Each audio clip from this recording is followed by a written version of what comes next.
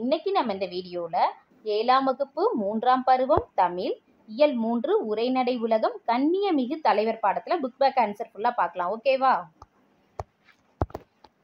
மதிப்பீடு பகுதியில் பாருங்கம்மா. சரியான விடையை தேர்ந்தெடுத்து எழுதுக. இதில் முதல் இது காயிதே மில்லத் டேஸ் பண்பிற்கு உதாரணமாக திகழ்ந்தார் எளிமை. எளிமைங்கிற விடை தான் கரெக்ட் காயிதே மில்லத் எளிமை பண்பிற்கு உதாரணமாக திகழ்ந்தார்.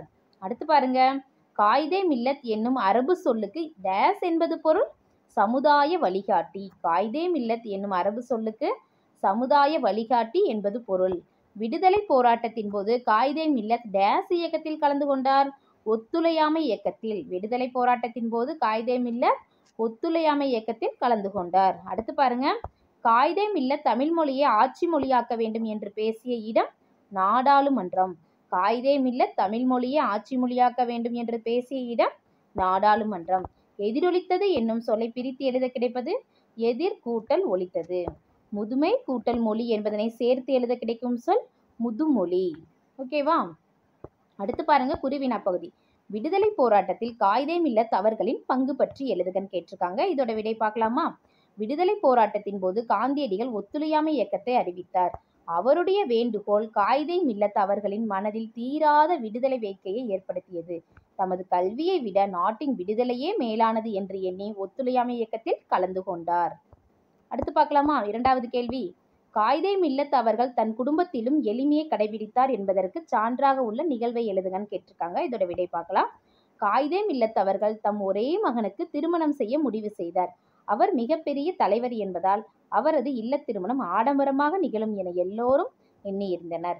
ஆனால் அவர் எவ்வித ஆடம்பரமும் இல்லாமல் மிக எளிமையாக தம் மகனின் திருமணத்தை நடத்தினார். பெண் வீட்டாரிடம் மனக்கொடையும் பெறவில்லை என்பது குறிப்பிடத்தக்கது. அடுத்து பாருங்க சிறுவினா. சிறுவினால என்ன கேள்வி கேட்டிருக்காங்க? ஆட்சி மொழி பற்றிய காயிதே மில்லத்தின் கருத்தை விளக்குங்கன்னு கேட்டிருக்காங்க. இதோட விடை பார்க்கலாமா? இந்தியா விடுதலை பெற்ற பிறகு நாட்டின் ஆட்சி மொழியை தேர்வு செய்வது தொடர்பான கூட்டம். நாடாளுமன்றத்தில் நடைபெற்றது. மிகுதியான மக்கள் பேசும் மொழியை ஆட்சி மொழியாக அறிவிக்க வேண்டும் என்று சிலரும் பழமை வாய்ந்த மொழியை ஆட்சி மொழியாக தேர்ந்தெடுக்க வேண்டும் என்று சிலரும் பரிந்துரை செய்தனர். ஆனால் காயிதே மில்லத் பழமையான மொழிகளிலேயே ஒன்றைத்தான் ஆட்சி மொழியாக்க வேண்டும் என்றால் முதன் முதலாக பேசப்பட்ட மொழிகள் திராவிட மொழிகளில் மிகவும் இலக்கிய செறிவு கொண்ட தமிழ் மொழிதான் மிக பழமையான மொழி. எனவே தமிழ் மொழியை நாட்டின் ஆட்சி மொழியாக அறிவிக்க வேண்டும் என்று கூறினார். அடுத்த சிந்தனை வினா பாருங்க. நீங்கள் ஒரு தலைவராக இருந்தால் எத்தகைய மக்கள் நலப்பணிகளை செய்வீர்கள்? விடை மக்கள் நலப்பணிகள் மக்களுக்கு அடிப்படை தேவைகள் உணவு உடை உறையுள் ஆகியனவாகும். இவற்றில் முதலிரண்டு இடத்தில் உள்ளவை உணவும் உடையும். இவை வேளாண்மையை ஆணிவேராக கொண்டவை. அத்தகு வேளாண்மை சிறப்பாக அமைய நீர்நிலைகளை வளப்படுத்துவேன். கோடை காலங்களில் தூர் எடுத்து மழைநீரை சேமிக்க வழிவகை செய்வேன். அனைத்து இல்லங்களிலும் மழைநீர் சேமிப்பு தொட்டி அமைக்க உத்தரவிடுவேன். கல்வியில்லா குழந்தைகளே இல்லை என்ற நிலையை உருவாக்குவேன். போக்குவரத்து வசதிக்காக சாலைகளை சீரமைத்து மக்கள் அவதிப்படாமல் இருக்க உதவுவேன். மக்கள் தொகைக்கு ஏற்ப பள்ளிக்கூடங்களை அமைத்து தருவேன். கல்வியை பெற்றுவிட்டால் மாநிலத்தை அவர்களே சேமைப்படுத்தி விடுவார்கள். இவையே நான் செய்யும் மக்கள் நலப்பணிகளாகும். ஓகேவா இந்த வீடியோ உங்களுக்கு யூஸ்ஃபுல்லாக இருந்துச்சுன்னா நம்ம சேனலை சப்ஸ்கிரைப் பண்ணுங்கள் லைக் பண்ணுங்கள் ஷேர் பண்ணுங்கள் தேங்க்யூ டு ஆல்